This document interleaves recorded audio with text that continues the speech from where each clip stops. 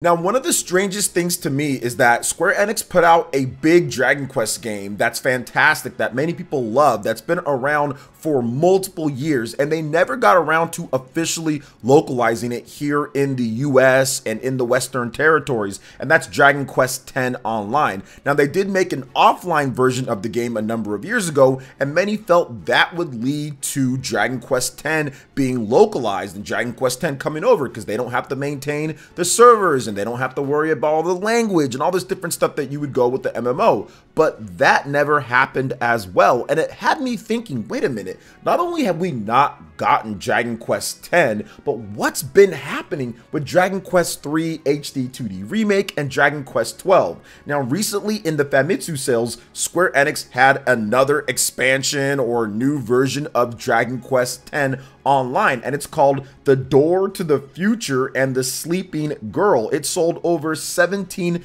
thousand units on the Nintendo Switch and another 7,333 units on the PlayStation 4 for a total of 25,000 units plus for the game. And I'm thinking to myself, hmm, they're still making or working or releasing new expansions or different things, but they never actually localized the game. And their radio silence on Dragon Quest III HD 2D Remake and Dragon Quest 12 have me thinking that Square Enix is absolutely gearing up for something completely different for Dragon Quest going forward in the future and what their plans are. And they're probably tied into what I discussed before with the Nintendo Switch 2. But we're going to talk about that and a lot more awesome RPG news, Visions of Mana, Star Ocean. You're going to want to hear some of the awesome stuff that we have here and some things that I think is going to be big for the future of some of your favorite franchises out out there. But before we get into that, what's good everyone? OJ here. Welcome back to another video. Please make sure you hit that like button, subscribe if you are someone new, and click that notification bell to get my videos first. Now, like I discussed before in the previous video, which I'll have a link for you guys in the description, I think that Dragon Quest games have a real big affinity for Nintendo systems. If you go back and look at the past Dragon Quest games, Dragon Quest X, for example, that was announced with the Wii, or was announced for the Wii, more like it. And that was like the first system that we heard about it for. You look at Dragon Quest 9, that was a Nintendo DS game. You look at Dragon Quest 11. Now, we already know about Dragon Quest III HD 2D Remake. They didn't announce platforms. We already know about Dragon Quest 12. They didn't announce platforms. And both of those games, we've heard nothing outside of those original debut trailers. We have the CG logo trailer for Dragon Quest 12, and we have the initial debut gameplay trailer for Dragon Quest 3 HD 2D remake, and absolutely nothing for Dragon Quest X online and Dragon Quest X offline for Western territory. So all of this radio silence has me thinking that they're retooling, re-gearing, and getting things ready for maybe the Nintendo Switch 2 with the reveals of these games because of what they've done in the past. Dragon Quest has a lot of sales that they usually get on Nintendo platforms, and yeah, you can talk about it for the Nintendo Switch, but some of these games might be better off on the Nintendo Switch 2. For example, Dragon Quest 12, if you're looking to have a bit more graphical showcase of the game, and we know that the struggles that they had with Dragon Quest 11 on the Nintendo Switch, I think it makes sense to put that on the Nintendo Switch 2. And of course, it could be on PlayStation 5 or Xbox or PC. It's going to be on other systems, but I just think that they have that first and foremost, hey, we're thinking about Japan first with these games. And if you look at the landscape in Japan, it's completely dominated by the Nintendo Switch. If you even look at the last Famitsu sales for the past week, you have seen multiple big games come out this year for the PlayStation 5. Persona 3 Reload, Dragon's Dogma 2, Final Fantasy 7 Rebirth, Granblue Fantasy Relink, Like a Dragon Infinite Wealth, multiple titles, and each one of those games were never able to do well enough on the PlayStation 5 in Japan to boost console sales above the Nintendo Switch, a system that's going into its eighth year. So Square Enix is absolutely thinking about the landscape of Japan first and foremost, and of course worldwide. They're thinking about that too, but they want to make sure that they set up the next Dragon Quest game to have big debut sales, to have big opening sales, and maybe the Nintendo Switch might not be able to handle the game properly in terms of what they're looking for for it. So maybe they're waiting and re-revealing it with the Nintendo Switch 2 for Dragon Quest 12. Now, when it comes to Dragon Quest III HD 2D Remake, I think this game at this point is going to be cross-gen. I think it's going to be across the PlayStation 4, the PlayStation 5, the Nintendo Switch, the Nintendo Switch 2, PC. Now, some people do have this game potentially being an exclusive for Nintendo with Nintendo Switch and Nintendo Switch 2, but I don't think that's going to be the case with this one. It's an HD 2D game. It's Unreal Engine 4. Then they have their own modifiers and middleware that they work with to make the game look the way that it does and operate like how HD 2D games games do. So I don't see that happening,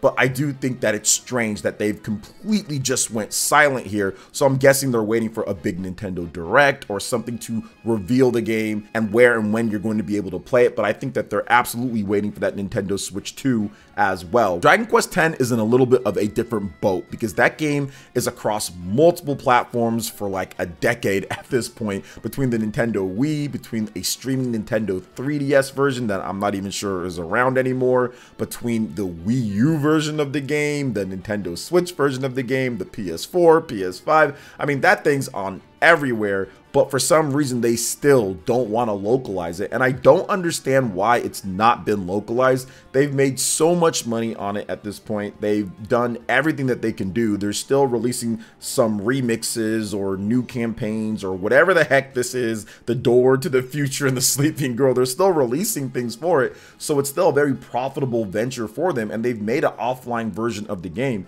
This should have been out on the Nintendo Switch years ago at this point along with a localized localized version on PS4, PS5, whatever they want to do. So it's just really weird what they've been doing with Dragon Quest. But once again, I think that there is some method to the madness here. Although Square Enix has been going through quite a bit overall with changing of their president and retooling their game development studios and what they're going to be working on. So we'll see how everything works out in the future. But speaking of the future, let's talk a little bit about Visions of Mana and the game that's coming out this summer because we've got brand new details on this game and it looks incredible. I love the visual style. There's a brand new trailer that you guys are seeing right here. And we've got more story details as well, plus a bunch of information on classes and all of that, which I'm not going to go over everything because I don't want to see all that right now because I want to be surprised in the game, but they have different classes. It's pretty much classic mana in terms of Seiken Densetsu 3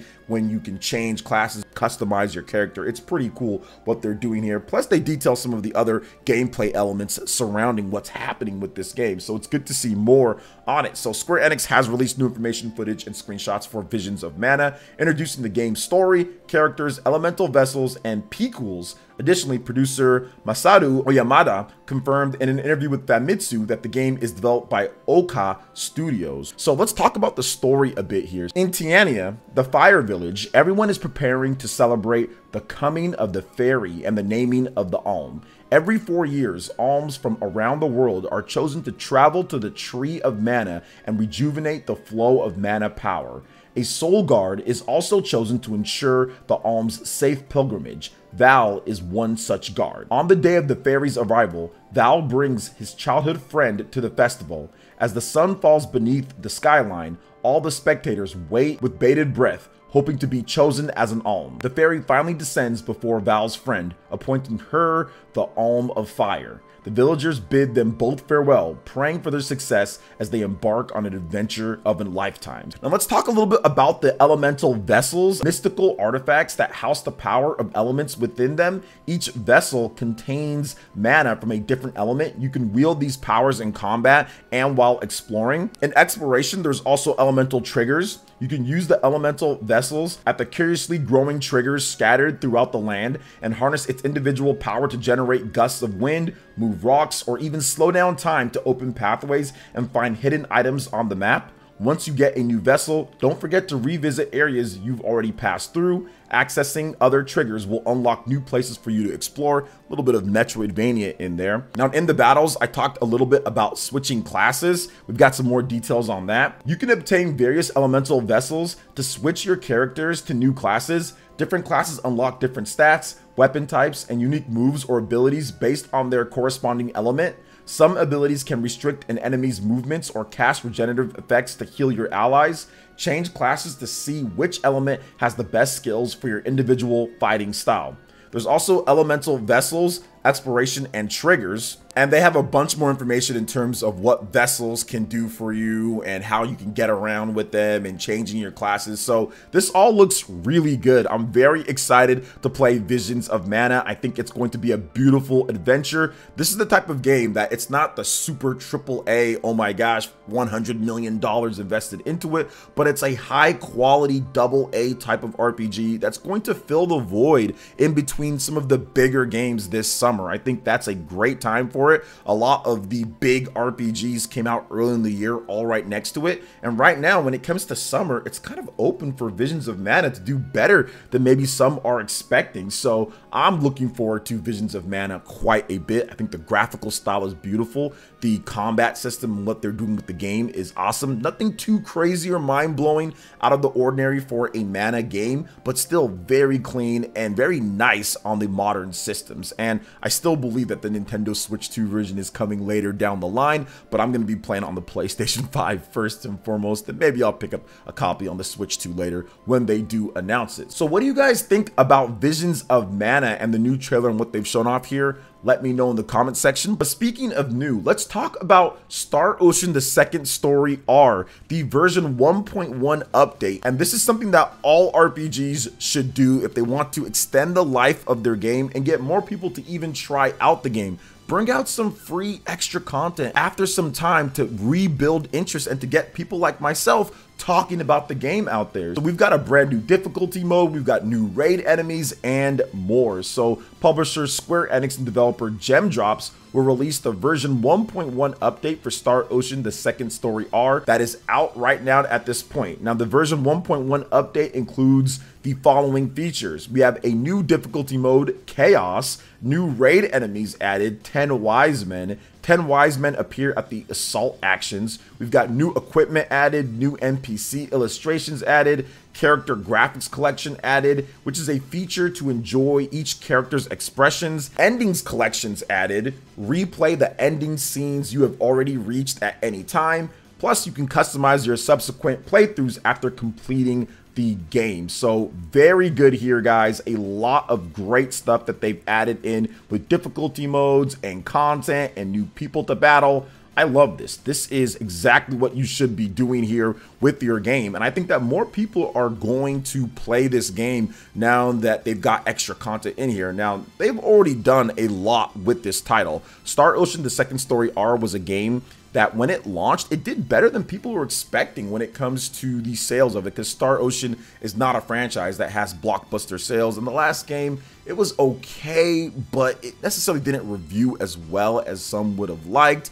And we've seen that the last number of big 3D Star Ocean games have not done that well Metacritic wise and sales wise. But Star Ocean The Second Story R did way better reviews wise. And I think that sales, it's holding up okay. So I think this is going to help out as well bunch of new illustrations, a bunch of new cool different stuff to access. So this is definitely a good thing for Star Ocean and fans of classic RPGs being brought back. So what are your thoughts on everything that we talked about here in this big RPG news video? Let me know in the comment section below. All right, guys, that wraps it up for this video here. Thank you so much for watching. I do appreciate it. Please make sure you hit that like button, subscribe if you are someone new, click that notification bell, and check out my other Nintendo Switch and RPG videos right here on screen. Thanks for watching. We'll catch you guys for the next one. Peace.